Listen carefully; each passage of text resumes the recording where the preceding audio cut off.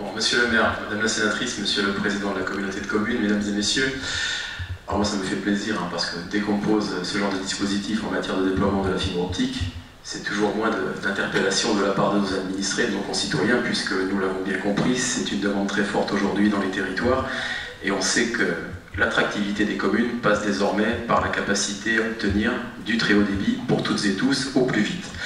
Alors c'est vrai que c'est une opération d'envergure, Marcel l'a dit, c'est le quatrième grand réseau déployé au niveau national dans notre pays. Hein. Nous avons connu l'eau, le téléphone, l'électricité. Et aujourd'hui, donc, euh, on met en place le déploiement de la fibre optique. Alors j'aime à rappeler que Paris ne s'est pas fait en un jour. On constate souvent une certaine impatience de la part de nos concitoyens hein, pour que nous puissions mettre au plus vite la fibre pour chacun devant, devant leur maison. Euh, je rappelle que c'est quand même une opération de longue haleine, c'est une opération d'importance et qu'on essaie de faire au plus vite mais que malgré tout, les contraintes techniques, les contraintes humaines font qu'il y a quand même un calendrier de déploiement qui se met en place, il faudra le respecter, mais rassurez-vous, si tout va bien, très rapidement, chacun d'entre nous aura la fibre à domicile dans le département des Landes. Une opération d'envergure, puisque c'est tout de même au départ une opération qui était prévue à hauteur de 176 millions d'euros sur le département des Landes. 176 millions d'euros, dont 40 millions de la part du département, à parité avec euh, les communautés de communes, puisque toutes ont décidé, et, c'est heureux sur notre territoire, elles aussi de mettre le même, montant en euros que le département. Euh, Marcel ne l'a pas dit, mais pour la communauté de communes chez Tursan, c'est quand même près de 2,5 millions d'euros qui ont été mobilisés pour amener donc, le très haut débit sur le territoire. Alors, le déploiement initial qui avait été élaboré grâce à une étude en 2013, avec un début des travaux en 2016 prévu sur 10 années de déploiement, donc jusqu'en 2026, était perfectible puisque, pour des raisons financières évidentes, nous ne pouvions pas alors à l'époque proposer et promettre la fibre et le haut débit pour tout le monde puisque nous laissions au niveau du département près de 20% de la population sans solution.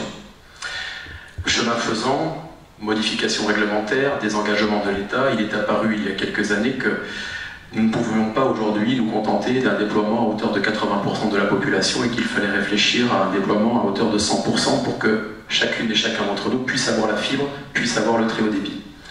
Nous avons été un peu aidés malgré nous par l'État, puisque alors qu'il était prévu que l'État participe au déploiement total de ce dispositif, sur deux phases, puisque 153 000 prises étaient prévues dans le département initialement, 90 000 de 2017 à 2021, puis 63 000 prises de 2022 à 2026. Nous avons eu la désagréable surprise euh, il y a plus d'un an d'apprendre que l'État ne financerait plus dans notre département le déploiement de la deuxième phase du plan initial que nous avions voté.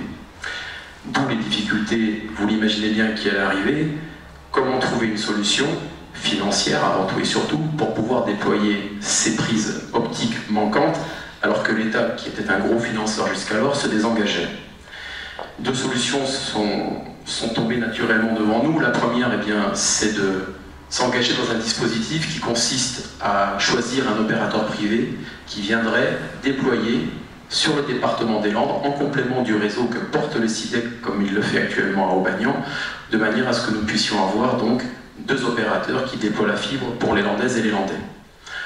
Puisque ce dispositif n'était pour nous que la seule et unique solution pour assurer le déploiement, nous avons reconfiguré nos objectifs, reconfiguré le déploiement de ce réseau et nous avons décidé, en accord avec la société Altitude Infrastructure, puisque c'est cette société qui désormais euh, participe au déploiement de la fibre aux côtés du SIDEC dans le département, nous avons donc décidé d'être encore plus audacieux et novateurs quant à la capacité que nous aurions à proposer ce service, puisque désormais nous allons accélérer le déploiement qui sera prévu au 31 décembre 2022 et non plus 2026. Et ce déploiement sera fait non pas pour 80% de la population, mais 100% de la population. Alors l'intégration de, cet opérateur privé a obligé le SIDEC à reconfigurer bien évidemment son périmètre d'intervention.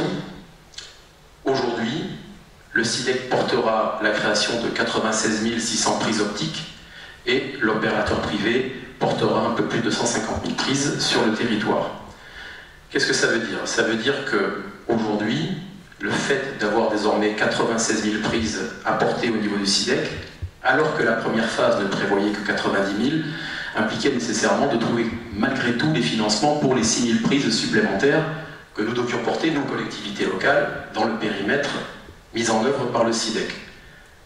les finances des collectivités locales étant ce qu'elles sont aujourd'hui, il paraissait compliqué, alors que l'État s'était désengagé, d'aller de nouveau frapper à la porte des communautés de communes pour demander des sommes supplémentaires. Je vous le rappelle, déjà 2,5 millions d'euros pour euh, la communauté de communes Chalon-sur-Sens, c'est quand même une somme assez conséquente pour un EPCI rural comme le nôtre. Donc le département a décidé de prendre à sa charge à 100% le coût supplémentaire pour ces 6600 prises que nous devions désormais porter sur le réseau du SIDEC. Alors cette somme n'est pas négligeable puisque ces 6600 prises, ça représente un investissement de 10 millions d'euros supplémentaires au niveau départemental. Et nous avons fait le choix avec Monique en tant que conseiller départementaux, politiquement, d'assumer cette dépense supplémentaire que l'État ne porte plus pour que nous puissions finir la complétude du déploiement du réseau de fibre optique sur notre territoire. Je le dis parce que nous avons assumé une augmentation fiscale, mais ne cherchez pas plus loin. La fiscalité a augmenté de 10 millions d'euros. Et pourquoi nous l'avons fait? Tout simplement parce que nous avons dû compenser ce désengagement, encore une fois, de l'État. Parce que nous avions prévu des financements pour financer 200 emplois dans les EHPAD ces prochaines années. Nous avions prévu dans notre budget 1,5 million d'euros en plus pour le SDIS, 7 millions d'euros en plus pour des opérations d'infrastructure autoroutière, et quand vous faites un budget avec toutes ces opérations qui sont indispensables pour le territoire, pour les solidarités territoriales, et qu'au bout du bout on vous dit ben, il manque encore 10 millions, mais à un moment, on ne peut pas se permettre politiquement de dire aux gens ben, vous n'aurez pas la fibre parce que l'État s'est désengagé et nous, au niveau départemental, nous ne ferons pas cet effort. Nous avons fait ce choix politique fort de financer ces opérations afin que toutes et tous nous puissions avoir cette fibre optique à domicile. Donc vous l'avez compris aujourd'hui, une accélération du dispositif, deux opérateurs, le SIDEC, Altitude Infrastructure et désormais 100% des Landaises et des Landais qui auront avant le 31 décembre 2022 la fibre optique à domicile. C'est un engagement fort. Il faut savoir, précision importante parce que parfois certaines personnes me disent que ça ne se fera pas, il y a des engagements contractuels qui ont été bien évidemment signés par la société Altitude Infrastructure si ce dispositif, si ce déploiement, si le calendrier n'est pas respecté, il y aura des pénalités qui seront payées par cette société. Donc aujourd'hui, nous avons des engagements contractuels forts et je peux vous assurer qu'au 31 décembre 2022, nous aurons la fibre dans le département des Landes. Ce qui signifie que sur notre communauté de communes, alors qu'initialement seulement 9000 locaux sur 14 000 devaient avoir la fibre et le très haut débit, sont donc désormais les 14 000 locaux des 50 communes qui auront cette fibre au 31 décembre 2022. Et je pense qu'on ne peut que s'en féliciter, remercier tous les cofinanceurs, la région, l'État pour une partie, avant son désengagement, les communautés de communes, particulièrement la communauté de communes Chaleur-sur-Sang et bien entendu le conseil départemental des Landes. Merci.